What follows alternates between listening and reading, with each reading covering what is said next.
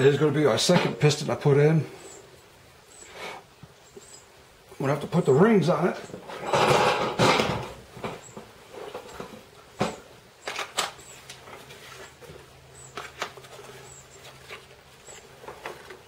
So here's what I do. I take the box of rings, of course you open it up.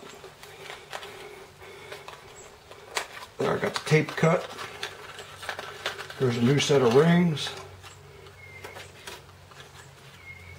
Box is empty and it has instructions with the Wiseco. Look at that. Here's something interesting about the Wiseco piston.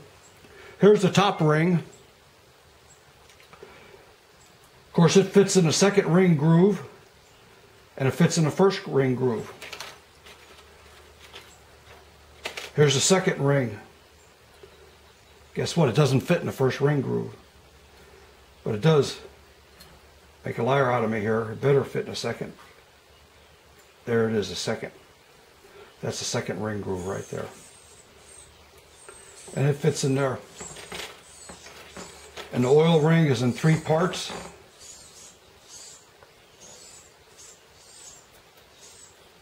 There you have the three parts.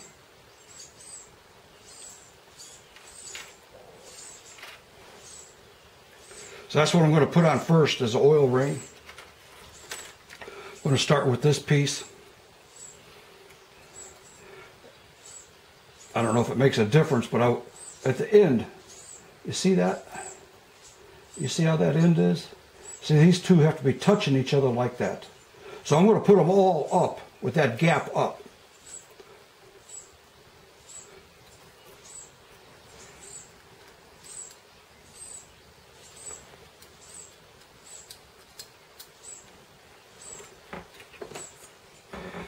These rings don't have any marks on them. And I read the instructions that says, okay, it doesn't matter which ring goes above or below the oil rings, there's no top and bottom. So I'm going to put that on. I'm going to move it.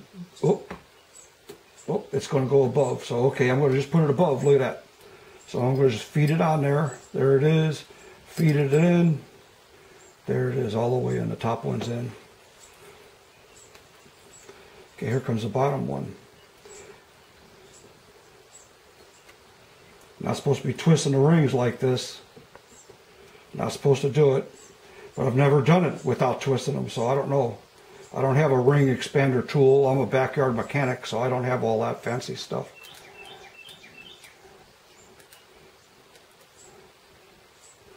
Okay, got to work it on there. Got to work it below this mark right here. There it is. Okay, it's in. That's the bottom ring. The oil ring. I'm going to feel around. I want to find a gap. Okay, here's a gap. The bottom one. I'm going to feel around. Okay, we the gaps, look how close they are. So I want these gaps spread.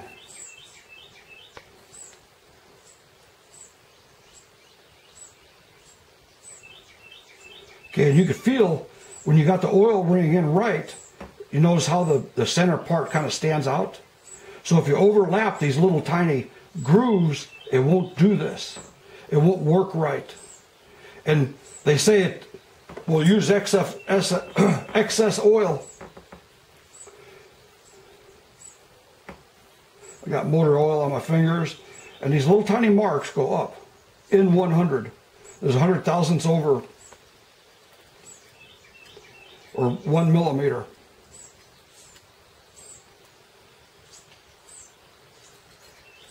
So that's a pretty interesting gouge, we called it in the Navy. A way to trick yourself to remember how it works. We called it a gouge. So this gouge was, what was it? Uh, the numbers are always up, but that's not the gouge. Anyway, I forgot what I was doing here. Okay, I have to think of this. Okay. There's the top ring.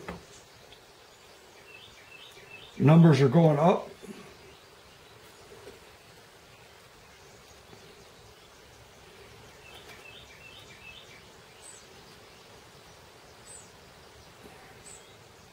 Using my fingernail, just want to get it over the edge. Okay, there we go.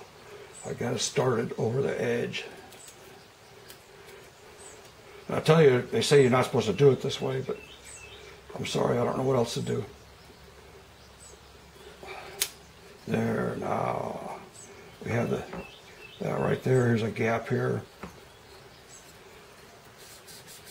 Okay, I'm moving all of them together. This sort of like polishes it a little bit. This polishes it. So now everything's fitting and these rings, I can feel the drag reduction as I do this. I can feel it's actually polishing the top and bottom of the ring lands. And you want to do this because it allows the rings to move even smoother. It's a lot more smooth. And your rings aren't going to get stuck.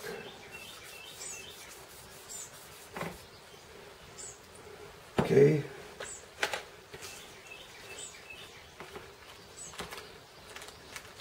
I'm going to install a circlip. Now this is the first time I ever did it this way, so I'm just guessing.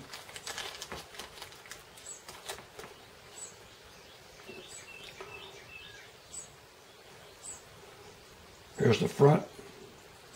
Front has to be right here.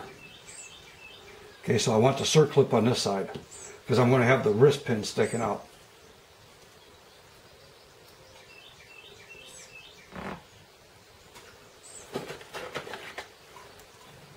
Okay, you get one end in first. One little piece of that in first, like that. You don't want to scratch these pistons. Oh, I got my finger in there to keep it from flying out. So I got my thumbnail in the inside.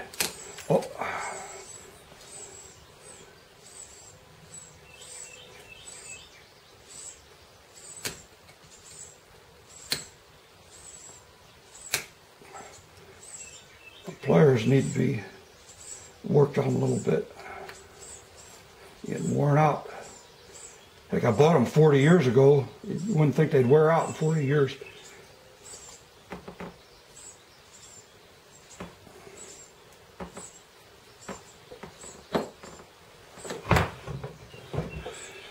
Okay, now let's see. I got the wrist pin in there, or the uh, circlip.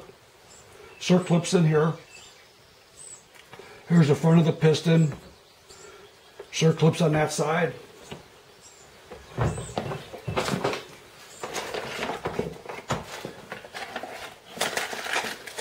Brand new wrist pin.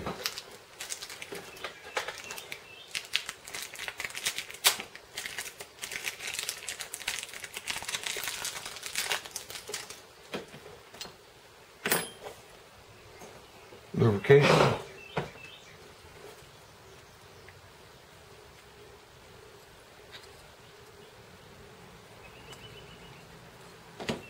Lubrication on the wrist pin, totally lubricated.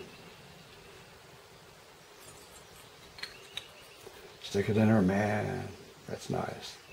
So I'm going to put this like this, so the wrist pin's sticking out, because when I put that uh, connecting rod in here, I can't have any gap, no gap there. So okay, I'm oiling the rings,